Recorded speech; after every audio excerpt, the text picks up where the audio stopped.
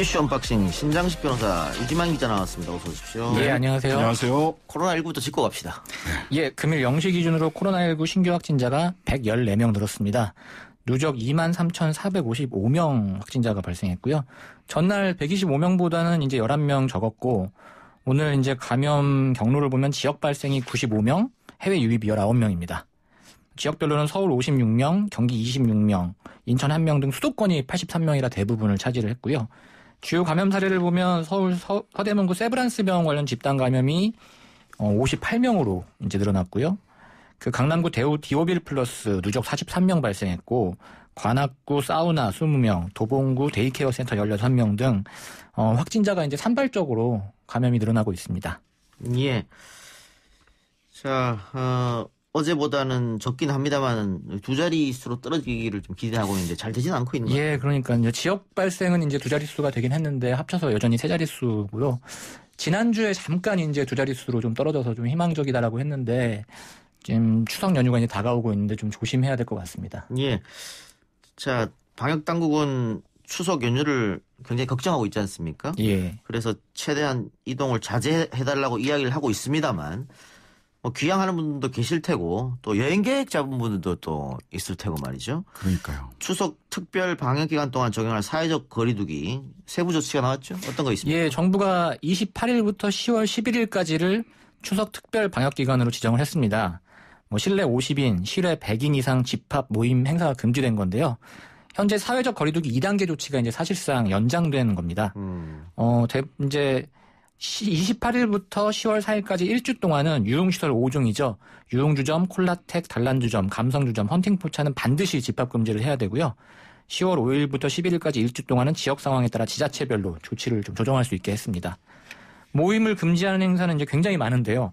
전시와 박람회, 설명회, 공청회, 대규모 콘서트, 사인회, 강연, 마을 잔치, 지역 축제, 민속놀이 대회 등이 이제 금지가 되고 있고요. 결혼식과 동창회, 동호회, 야유회, 뭐 회가변이나 장례식 같은 경우에는 이것도 금지 대상이긴 합니다. 어. 위반할 경우에는 예방법에 따라 300만 원 이하 벌금이 부과되고요. 확진자 발생 시 입원 치료비 및 방역비에 대한 구상권이 청구될 수 있습니다. 자, 이렇게 되면 또 자영업자들의 어려움은 더 할 텐데요. 그렇죠. 근데 이 와중에 개천절에 집회를 하겠다는 구구단체들 어떻게 봐야 되는 겁니까? 우선 이게 카퍼레이드 형식으로 하겠다라고 하는데 이것도 예. 집회의 한 형식이고 이전에 뭐 택시 노조나 버스 운송 사업자들이나 이런 집회할 때도 전부 다 집회 신고 했, 하고 했어요. 그러니까 집회 신고의 대상이라는 점이 하나 분명하고요. 어, 물론 정치적 표현의 자유라고 하는 것은 국민의 기본권이기 때문에 폭넓게 인정이 돼야 되는 건 맞습니다. 하지만 지난번에 8.15 집회 때 정치적 표현의 자유를 우선적으로 고려했다가 우리가 엄청난 사회적 비용을 지금. 지출을 하고 있거든요. 예. 그리고 뭐 차만 타고 이렇게 카퍼레이드 하는 거는 방역에 문제가 없지 않느냐. 이렇게 얘기를 하는데요. 저는 두 가지 부분이 있어요. 이분들이 차 타고 와서 그냥 진짜 차만 타고서 헤어질 거냐. 분명히 모여 앉아가지고 커피도 한 잔 마시고 밥도 예. 먹고 이렇게 될 거거든요. 여기에서 사실은 뭐 교회 같은 데서도 교회 예배 자체는 굉장히 방역을 철저히 하는데 예. 그 이후에 끼리끼리 삼삼오 나가서 했다가 이렇게 깜깜이 방역, 깜깜이 확진자들이 뭐 많이 소모임, 늘어났잖아요. 식사 이런 것 때문에. 소모임 예. 식사. 그 다음에 그 차 안에 혼자 타고 올 거냐. 이거 분명히 서너 명씩 같이 타고 올 텐데 예. 이전에 택시 안에서도 그 잠깐 잠깐 타고 내렸는데도 그 한 택시 안에서 확진자가 나왔던 걸 고려한다면 아, 꼭 이렇게까지 해야 되는지 저는 정말 다시 되묻지 않을 수 없습니다. 예. 일단 경찰은 개천절 차량 시위를 끝까지 하게 되면 현행범 체포할 수도 있고 면허 정지나 면허 취소도 할 수 있다. 이렇게 얘기했는데 과연 어떻게 나올지 모르겠습니다. 법무부가 집단 소송 제도를 전 산업 분야로 확대하고 징벌적 손해배상 제도를 아예 상법에 못 받겠다. 최대 다섯 배 정도 얘기하는 것 같아요. 예, 맞습니다. 법무부가 이제 집단 소송제랑 질병적 손해배상제를 확대 도입하는 어, 집단 소송법 개정안과 상법 개정안을 입법 예고를 했는데요. 이제 뭐 전 분야로 확대되는데 어, 제한 없이 도입한다는 게 핵심이고 국민, 국민 참여 재판을 적용하는 게 이제 골자입니다. 뭐 현행 증권 관련 집단소송법은 이 법이 나오게 되면 폐지, 흡수되는 예정이고요. 뭐 피해자가 50명 이상인 모든 손해배상 청구에 적용되며 스스로 재외 신고를 하지 않은 피해자 모두에게 판결 효력이 생깁니다. 예. 근데 그 언론계에서 반발하더라고요. 예, 이- 왜냐하면 이번 이제 수 있다. 예. 가짜 뉴스나 허위 정보로 피해를 일으킨 위법 행위도 손해배상 청구 대상에 포함이 되기 때문입니다. 뭐 논란이 좀 있을 것 같긴 한데 일단 언론 노조는 반대 입장을 냈습니다. 가짜 뉴스를 안 쓰면 되잖아요. 그러니까요. 가짜뉴스 안 쓰면 되고 기업들 반발한다 고 하는데 이 그 안 되게 집단 소송에 걸리지 않도록 이렇게 얘기를 자기들이 잘 조심을 해야 되는 거고요. 그 다음에 사실은 언론만 빼달라는 얘기예요. 언론계에서 반달, 반발한다는 얘기. 이 그 집단 소송제나 징벌적 손해배상제는 상인이 고의 또는 중과실로 타인에게 손해를 가한 경우 손해 손해의 다섯 배를 넘지 않는 범위에서 그 배상을 하도록 하겠다는 거거든요. 상인이라고 하면 영리 행위를 하는 모든 그러니까 언론사도 상인의 범주 안에 상법에 적용을 받는 상인의 범주예요. 이윤 이윤 추구하는 모든 그 사람들이 전부 다 예. 회- 사람이나 회사가 전부 다 상인이 되기 때문에 이 얘기는 언론 노조에서 반발한다 또 언론은 빼달라 뭐 이런 복잡한 얘기를 하지만 우리만 빼주세요라고 하는 얘기지 실제로는 언론은만을 타겟으로 해서 이게 들어오는 게 아니거든요. 이게 특권의식이라고 봅니다 저는. 그러니까 취재할 때 팩트 체크 철저히 하고 네. 어, 가짜 뉴스로 인한 피해자가 안 생기게 하면 되는데 일단 우리들만 빼달라 조금 이해가 안 되고 예. 어, 법무부가 얘기한 건 최대 다섯 배지 않습니까? 예, 최대 다섯 근데 배입니다. 최근 자료를 보니까 언론사가 잘못을 해서 손해배상을 한 경우 평균 금액이 500만 원이더라고요. 500에서 1000만 원 사이예요. 네. 그러니까 그럼 다섯 배 해도 적어요. 2,500만 원인데 네, 그렇죠. 피해를 입은 사람 평생의 아픔을. 안고 가야 되는데. 그럼요. 그렇기 때문에 실은 그 표현의 자유를 보호하는 거는 분명히 중요합니다. 하지만은 여기도 나와 있는 게 우리 상법 개정안에도 보면 고의 또는 중과실이라고 했거든요. 중과실이라고 하니까 아, 실수로 한 것도 다 처벌하겠다는 거냐라고 확대 해석하시는데 그렇지 않고요. 중과실은 거의 고의에 준하는 과실이에요. 한 번만 cross check했으면은 오보하지 않을, 않을 수 있는 이런 것들 얘기하는 거고요. 또 오보가 나온 거를 문제가 되는 게 똑같이 토시 하나 안, 쓰- 안 틀리게 베껴 쓰기 하잖아요. 예. 이런 분들은 사실은 중과실에 음. 그 포함될 수가 있어요. 그러니까 다시 한번 말씀드립니다만은 이 징벌적 손해배상 제도는 가짜 뉴스 방지법이라고 하기 하- 가짜 뉴스를 방지하는 결과적으로 그런 결로 결과적으로 그런 효과가 있을 수 있지만 모든 상인에게 적, 적용되는 겁니다. 모든 모든 이윤 추구 행위를 한 사람들에게 적용되는 거기 때문에 이 얘기는 우리만 빼주세요라고 하는 얘기예요. 그걸 거창하게 얘기하고 있어요. 사실은. 징벌적 손해배상 제도가 서구사에서 먼저 생겼는데 그렇죠. 거기는 언론을 언론만 빼준다 이런 거 없지 않습니까? 그러니까요. 네. 이거는 이윤 추구하면서 발생하는 모든 악의적이고 중과실로 인해서 사람들에게 그 손해를 끼쳤다면 여기에 대해서 배상해라. 근데 이 징벌적 손해배상 제도에 대해서는 언론이 가장 크게 반발하는 것 같고 집단 소송제는 이제 기업들이 반발하는 것 같습니다. 예, 집단 소송제 같은 경우는 뭐 소송을 남발할 경우에는 정상적인 경영 활동이 어렵다.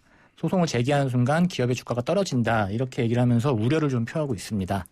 아이, 근데 이것도 집단 소송 안 당하게 조심하시면 되잖아요. 조심하면 되는 거예요. 최근에 사모펀드 피해자들 굉장히 많지 않습니까? 예. 근데 이분들도 본인이 금융감독원에 분쟁 조정 신청을 하거나 소송을 하지 않으면 배상 대상이 안 돼요.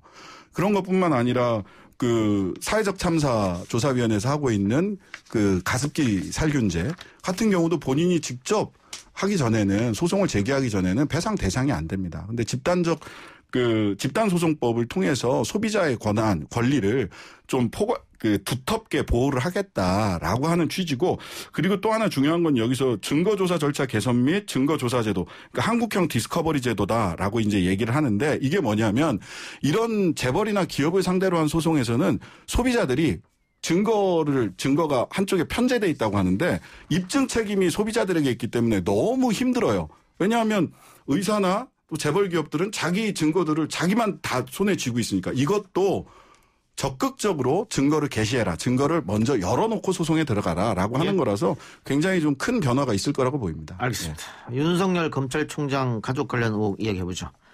어, 사건은 여러 건이 걸려 있고 공소시효도 각기 다 다릅니다. 예.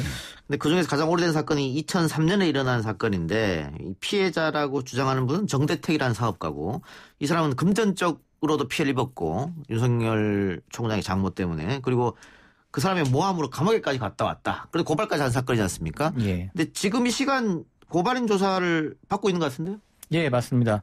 서울지검지검 형사 6부가 오늘 오후 이제 그 사업가 정대택 씨하고 그다음에 도이치모터스 주가 조작 의혹 관련해서 이제 고발인 조대진 변호사를 불러가지고 조사를 하고 있습니다. 예. 자, 오랫동안 끌어왔던 사건이어서 시민단체에서는 왜 빨리 수사를 하지 않느냐라고 했었는데 고발인 조사를 들어갔다고 하는 것은 이제 본격적으로 수- 수사를 시작한다 이렇게 봐도 되겠죠. 그런 거죠. 고발인 조사 후에는 일반적으로 절차상 이제 피고발인 조사, 참고인 조사를 하게 됩니다. 참고인 조사하고 피고발인 조사를 하게 되는데요. 그러면 당사자인 최 씨, 그 윤석열 씨 장모, 그 다음에 도이치모터스 건 같은 경우는 김건희 씨가 직접적으로 피고발인으로서 조사를 받아야 되는 거죠. 그리고 관련 참고인들도 아마 피고발인을 소환하기 전에 참고인들 먼저 불러서 고발인 조사, 참고인 조사, 피고발인 조사 이 순서로 본격적으로 수사를 하겠다라는 취지로 보시면 예. 될것 같습니다. 관련해서 녹취록이 지금 두 가지가 등장했는데 하나는 내가 그 사람 입 막기 위해서 얼마를 썼다 뭐 이런 얘기가 나오는 것이고요. 또 하나는 도이치 모터스 주가 조작 관련해 가지고 내가 했다 그거는 이렇게 시인하는 장면이 나오는 거죠. 예, 맞습니다. 윤석열 총장의 장모가. 네. 지난주에 이제 녹취가 공개가 됐는데요. 뭐 핵심 내용을 보면은 이제 이 도이치모터스 주가 조작 관련해서 윤석열 총장의 이제 장모가 뭐 직접 개입했거나 혹은 뭐 증언을 다르게 하도록 뭐 좀 요구를 했다 뭐 이런 취지의 내용이 좀 담겨 있는데 어, 나, 뭐 내가 했다 뭐 이런 부분이 이제 어떻게 해석되냐에 좀 문제는 있는 것 같아요. 뭐 그 말 일단 한마디가 들어가 있는데 기존에는 이제 그 윤석열 총장의 와- 아내인 이제 김건희 씨가 깊이 개입돼 있는 예. 거 아니냐라는 의혹이 있었는데 이 장모의 녹취록이 나오면서 좀 사건이 다르게도 볼 수 있는 거 아니냐 뭐 이런 관측이 나오고 있습니다. 예. 그러니까 윤석열 장모의 지인이 도이치 그거는 회장님 했었잖아라고 물어보니까 윤석열 장모가 그럼 그거는 벌써 2000 몇 년인가 이렇게 하고 그래서 지인이 다시 왜 회장님이 한 건데 따님이 한 걸로 나오지 이렇게 물었더니 음, 그러니까라고 대답하지 않습니까? 네. 근데 이게 에, 증거 능력이 됩니까? 증거 능력 되게 어려울 것 같은데. 이게 여러 가지 이제 주가 조작 사건은 흔히 이제 세 가지 정도가 입증이 돼야 돼요. 하나는 첫 번째는 실, 실제 주가 조정을 조정을 위한 호가가 있었냐, 즉 주가 조정을 위한 객관적인 사실이 있었냐, 뭐 사고 판 게 있었냐. 근데 이건 객관적 데이터로 보면 나오거든요. 이건 확인이 쉬울 거고 두 번째는 이게 정말 주가 조작을 위한 거냐, 아니면 그냥 시장의 정상적 거래냐 했을 때 객관적 데이터 이외에도 범위 이 사람이 주가 조작을 위해서 한 거다라고 하는 그게 인정돼야 되고요. 범위가 인정되고 되고 다음에 주가 조작은 혼자서 못 합니다, 사실은. 공범 관계가 굉장히 많을 수밖에 없거든요. 그래서 주가 조작 이득금도 공범 전체의 이득금을 다 개인 개인에게 다 적용을 해요. 어, 그래서 이 공범 관계가 어디까지냐. 근데 여기 등장하는 사람이 이제 소위 선수 김 씨 명동 사채시장에서 돈 10억짜리 김건희 씨가 준 증권 계좌를 가지고 100억으로 불려서 했다는 사람. 이 사람과의 공범 관계까지가 입증이 돼야 되는데 여기에서 응 그러니까 요 부분이 범위를 추정할 수 있는 예. 예. 굉장히 강력한 정황 증거는 될 거다. 아. 직접적 증거로 쓰일 수 있는지는 다른 수사 단서들을 조금 더 수집해야 되지 않을까 싶습니다. 그러면 검, 어, 윤석열 총장 장모가 검찰 조사를 받는다면 이 부분을 가지고 집중 추궁할 수도 있는 거잖아요. 집중 추궁할 수 있죠. 근데 저는 이 녹취가 올 2월 달에 있었다고 하는데 당시 지인과의 관계 는 굉장히 좋았다고 해요, 당시에는. 근데 그 이후에 뭐 10억대 분쟁이 생기면서 굉장히 그 관계가 안 좋아졌다고 하는데 저는 이분들이 다 사실 주가 조작과 관련해서 이 정도 이야기를 나눌 정도면은 선수들이란 말이죠. 음. 왜 이런 질문을 했고 왜 그런 대답을 했을까는 음. 한꺼풀 더 들여다봐야 된다. 즉 장모가 딸을 보호하기 위해서 녹취되는 사실을 알면서도 이런 이야기를 했을 가능성을 배제할 수 없다라고 저는 저도 추정을 약간 해봅니다. 그 부분을 느낀 게이 회장님이 했었잖아라고 물어보는 부분을 보면은 네. 사실 그 녹취를 직접 들어보면 약간 본인이 약간 멈칫하는 느낌이 있긴 있었어요. 그래서 그 말씀하신 대로 녹음한 서로 녹음한다는 사실을 알고 있 이미 알고 있는 상황에서 얘기를 했을 수도 음. 있겠다라는 그 의심은 좀 됩니다. 지인 같은 경우는 말, 말하자면 보험용으로 이거 녹음을 해놨을 수도 있, 있고 그 장모 같은 경우는 아 이게 녹음이 녹취가 되는구나라는 거를 알면서 어 뭔가 이렇게 예, 향후에 이게 밝혀질 수이 드러날 수도 있다 이 녹취가 이거를 계산했을 가능성 또 배제하지 않고 수사기관에서 좀 수사를 해야 되지 않을까 예. 싶어요. 예. 또 하나 그 녹취록에 보면은 공소시효가 끝나서 괜찮다 이런 얘기를 합니다. 네. 그 얘기는 굉장히 법률적으로 검토를 했고 변호사의 조력을 받았다는 얘기인데요. 근데 아까도 말씀드렸다시피 주가 조작 사건은 공범 관계를 어떻게 보느냐. 그러니까 네. 공소시효는 공범의 범죄가 끝났을 때를 보는 거거든요. 근데 이제 김건희 씨가 어, 그 돈 10억짜리 증권 계좌를 선수 김 씨에게 맡겼을, 맡긴 시점은 2010년도 2월 달이죠. 근데 주가 조작이 있어서 두 차례에 거쳐서 시세 조정이 있었던 것으로 보이거든요. 객관적 데이터를 보면. 근데 그게 피크를 쳤던 때는 2011년 3월 달. 이기 때문에 요 공범 관계가 드러나느냐에 따라서 오히려 이 중요한 부분일 것 같아요. 공, 김 씨와 김건희 씨 또는 최 씨와의 공범 관계가 있다면 2011년 3월 달까지 그때가 범죄가 종료됐다라고 보이고 그렇다면 내년 한 2월 3월경까지는 공소시효가 충분히 남아 있는 거다라고 보입니다. 예. 하나만 더 해보죠. 의대생들이 의사 국가고시 실기시험에 응시하겠다라는 의, 의사평을 했는데 예. 국민 여론 여전히 싸늘합니다. 예, 뭐 일단 뭐 의대 본과 4학년 대표들이 이제 24일 날 전국 40개 의대 전원, 전원 본과 4학년은 국시에 대한 응시 의사를 표명한다는 성명서를 발표를 했습니다. 다만 이 성명서를 발표하는 데 있어서 그동안에 수업을 거부한 이런 상황에 대한 이제 국민에 대한 사과나 이런 의사는 없었거든요. 그러니까 지금 응시를 보겠다는 의사만 표명을 한 것인데 일단 오늘 여당에서도 이 여론을 의식하지 않을 수 없고 그럼요. 특히 국민 청와대 국민청원이 50만 명이 넘었습니다. 그래서 청와대도 입장을 밝혀야 되는데 여당 입장에서도 국민적 동의가 없을 경우에는 어떤 좀 행동을 취하기가 쉽지 않다라는 입장을 밝혔습니다. 그러니까 그 국민청원은 이 의사들 재시험 보게 하면 안 된다. 그게 50만이 넘었다는 예. 거잖아요. 그리고 여론도 지금 안 좋은 상황에서 정부가 재응시 기회를 준다면 그것도 정부에 대한 굉장히 부담일 테니까 예. 거기다가 대통령이 연일 공정, 정의 이걸 언급하고 있는데 과연 페어한 거냐 이거 다른 사람과 형평성 차원이 있으니까 그렇죠. 세 가지 정도가 짚어져야 될 텐데 하나는 재시험 기회를 줬죠. 근데 그들이 거부했죠. 예. 그다음에 두 번째는 다른 국가 시험들, 국가고시들과의 형평성 문제. 예. 예. 그다음에 세 번째는 국민의 여론. 이 세 가지를 다 통과를 해야 되는 본인들이. 예. 근데 이게 성명서를 보면 읽고 나면 우리 국민들 굉장히 불쾌하게 불쾌감이 들 것 같아요. 말하자면 전교 1등이 내 시험 봐줄게 뭐 이런 식으로 읽히는 내 시험 한번 봐줄게 이렇게 보이지 어 그리고 뭐 올바른 의료 뭐 등등등을 위해서 뭐 앞으로도 더 노력하겠습니다.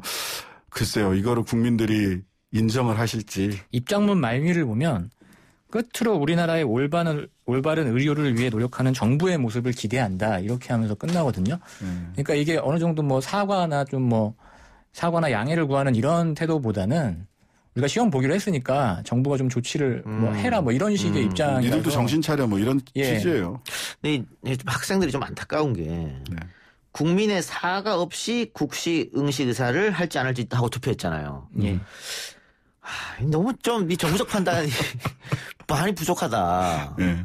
자기들만의 세계에 살고 네. 있다라는 느낌을 지울 수가 없어요. 예.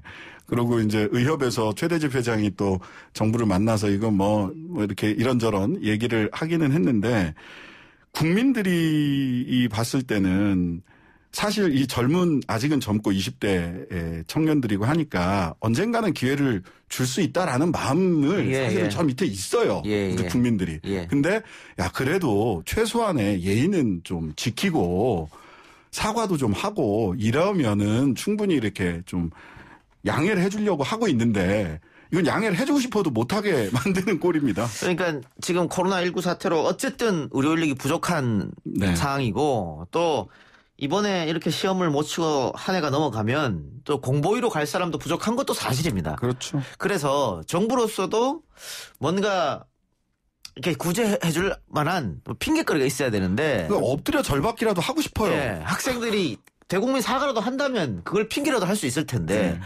그건 하지 않겠다고 하니, 하니까 정부가 취할 수 있는 방법 몇, 개, 몇 가지 안 된다는 거죠. 그러니까 사실 의대, 의대 교수 단체에서도 좀 송구하다 이런 사과의 뜻을 표명을 했거든요. 학생들에게 기회를 달라 뭐 이렇게 호소를 했는데 정작 당사자인 이제 학생들은 이제 사과를 빼기로 했다는 사실이 알려지면서 여론이 상당히 지금 차갑긴 합니다. 예. 뭐 앞으로 하려면 결자 해지를 하는 수밖에는 없을 것 같습니다. 예. 9702님께서 당연히 재응시 기회 주면 안 됩니다. 공정에 위반됩니다. 어, 이런 의견도 있는 반면에 8260님은 의사 배출 안 되면 나라가 더 큰 문제가 됩니다. 정치적으로 해결할 문제가 아닙니다. 이런 또 의견도 있, 단 말이죠. 분명히. 예, 예. 그래서 학생들이 좀 현명하게 대처를 해야 되는 거 아니냐. 근데 이 시험을 계속 거부할 때 그때도 이미 여론은 선배들은 이미 의사 면허가 다 있지 않습니까? 그렇죠. 나중에 돌아갈 집이 다 있어요. 근데 학생들이 이렇게 코너로 몰리면 학생들은 돌아갈 곳이 없다. 지속적으로 그런 이야기를 많이 했었음에도 불구하고 이런 선택하기 좀 안타깝습니다. 예. 안타깝습니다. 그, 그, 하여튼간에 국민들의 저 단전 아래쪽에는 그래, 좋은 태도만 보이면 우리가 한번 양해해 줄 수도 있어 라고 하는 생각들이 있어요. 청년들 앞길을 끝까지 막아야 된다. 이렇게 생각하는 어른들이 뭐 얼마나 많겠습니까. 근데 그런 그 국민들의 의식의 이 감정선이나 이런 부분들을 잘 판단해 보셔야 될 것 같습니다. 청년들이. 특히 뭐 대형 병원 같은 경우에는 이제 의사 면허 따고 금방 들어온 네, 네. 분들을 많이 활용하지 않습니까? 그럴 수밖에 네. 없고 네. 그럼 당장 인력 부족이 생기기 때문에 시험 치는 건 맞습니다만 지금의 학생들의 뻣뻣한 자세로는 정부가 구제를 해주려고 해도 구제할 방법은 없다. 네. 일단 국민들의 마음을 좀 누그러뜨려야 되지 않을까. 일단 뭐 여당의 한정희 정책위의장 같은 경우에도 이게 쉽게 결정할 수 있는 문제가 아니다. 왜냐하면 여론의 의식이 되기 때문에 좀 숙고를 해보자. 뭐 이런 식의 입장을 밝혔습니다. 예. 그러니까 네. 의대생하고 정부가 서로 특히 의대생들이 그 생각을 조금 바꾸었으면 좋겠는데 자기들이 주장했던 바가 있는데 꿇어 우리는 주장을 바꾸지 않을 거야 이렇게 생각하면 안 되죠 의사와 국민이 의사와 정부가 의대생과 정부가 서로 그 제로섬 게임을 하는 관계가 아니거든요 윈윈할 수 있는 방법을 찾아야 됩니다 그러니까 그걸 모르겠습니다. 학생들의 지도부가 누군지는 모르겠습니다만 덕분 덕분에 챌린지를 조롱해서 예. 역풍 맞았죠. 전교 1등 어쩌고저쩌고 해서 또 어, 역풍 맞았죠. 이번에도 또 이렇거든요. 아 우리 학교 다닐 때 정치 과목을 좀 배워야 되지 않을까. 아니 공감 과목을 좀 먼저 배우는 게 좋을 것 같아요 공감 이게 예. 의대를 간다는 게 정부가 요청해서 간 게 아니잖아요. 본인들이 선택을 한 거고 예. 지금 국민들 의식은 결국 시험을 안 보겠다고 한 것도 너희들의 선택 예. 아니었냐. 그럼 선택에 책임을 져라 이런 거거든요. 그러니까 뭐 정부가 우리한테 해준 게 뭐냐 이런 얘기도 했던데 그 정부에서 각 대학에 의대에 엄청난 지원을 하는데 그럼요 그걸 생각을 못 하고. 이 본인들이 그 등록금이 다른 과보다 비싼 건 맞죠. 노- 많이 높지만 사실은 의사가 된 이후에 저는 계속 그, 런 말씀 드리는데 의사들은 웬만큼 자기가 도박하고 뭐 이러지 않으면 망하지 않습니다. 예. 왜냐? 국민건강보험이 기본적인 소득을 보장해주고 있기 때문이에요. 알겠습니다. 어쨌든 잘 해결되길 바랍니다. 두 분 수고하셨습니다. 예, 감사합니다. 감사합니다.